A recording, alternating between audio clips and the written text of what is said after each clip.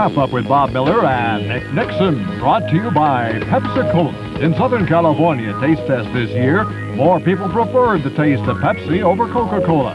Take the Pepsi challenge and let your taste decide.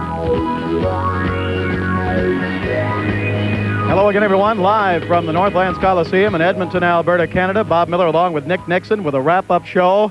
And there are going to be some eyebrows raised around Canada and North America after this score goes out on the wire.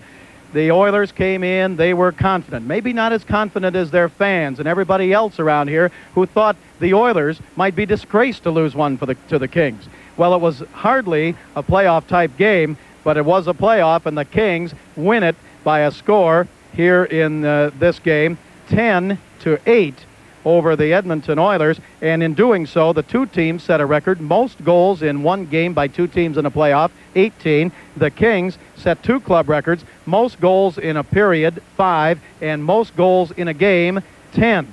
And some of the stars are standing by right now to talk with Nick Nickson. We're down here in a little bit of confusion. We can't find a third stool. We're talking with Dave Taylor and Daryl Evans, two of the Kings who had great offensive nights. Uh, tonight was a night for goal scorers. Dave Taylor with a goal and three assists. Daryl Evans, of course, was recalled in early March, and he had two goals and two assists. First off, uh, Dave, your goal really, I thought, was the key goal in the game because it was late in the first period. The Kings were trailing by two, and with seven seconds left, you scored to make it a one-goal game. Well, that was a nice play by uh, Charlie. He took the puck wide, and I just kind of moved into the slot here. Uh, there's the pass coming to me. I just shot high for the far corner, and I was lucky it hit the net. Grant Fuhr appeared to be screened by uh, his own defenseman right there. Uh, did you see the defenseman going down, and is that why you went up high with it? Uh, once the defenseman went down, yes, that's why I had to go up with it. And uh, it's one of those shots that you practice all the time in practice, but only works, you know, maybe once or twice a year. But uh, when they do go in, they feel nice. Daryl Evans, uh, has to be a great thrill for you. Your first ever NHL playoff game. You picked up four points, two goals, and two assists.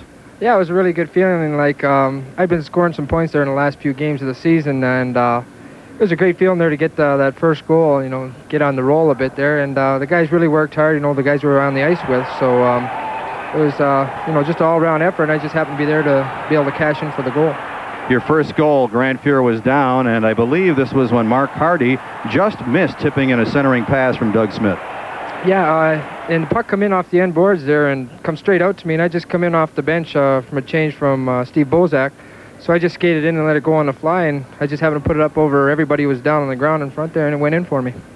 I thought that all of the rookies, all of the youngsters on this club played very well. What uh, did Don Perry tell the guys in between periods one and two when the Kings were back in the game after falling behind four to one? Well, after a great inspirational goal there by Davey, it got all the guys, you know, back in the game. We felt we could do it again, uh, built our confidence up, and we knew we were right back in there. We were only down a goal, uh, so we just, you know, we got us all really up and going. And you know, he just said, "Keep going. You know, you got your confidence. You know, you can do it now." And we just took it from there.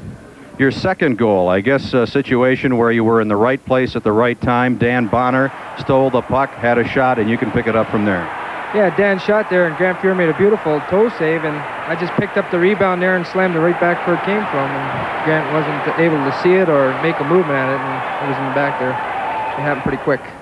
Again, we're chatting with two of the Kings stars, Dave Taylor with four points, Daryl Evans with four points. And uh, Daryl, one last question. What was the feeling on the club when you were down four to one? I thought the club was scrambling around in the first five minutes. They took some bad penalties. The Oilers did the same in the second period. But uh, how was it on the on the bench there when you were down by three? Well, I think uh, like coming into the game, we were pretty hyper and uh, we were really eager to get into it, get a good start. And guys wanted to, you know, every first game there's always you know a lot of physical contact and everything. And our guys just happened to get you know a little high strung, and we went out and got a couple of early penalties, but you know, a game can't be over in three or four minutes, and uh, it was good that our guys realized that, and uh, we had 55 more minutes to play the game, and we just took it from there, pecked away, pecked away, you know, and we just, you know, played a good, balanced, strong game. We just got stronger as it went on, and you know, come out the the winners. 10 to 8, the Kings over the Edmonton Oilers. As the Kings take a one games to nothing lead in the best of five series, the Kings now suddenly have the home ice advantage.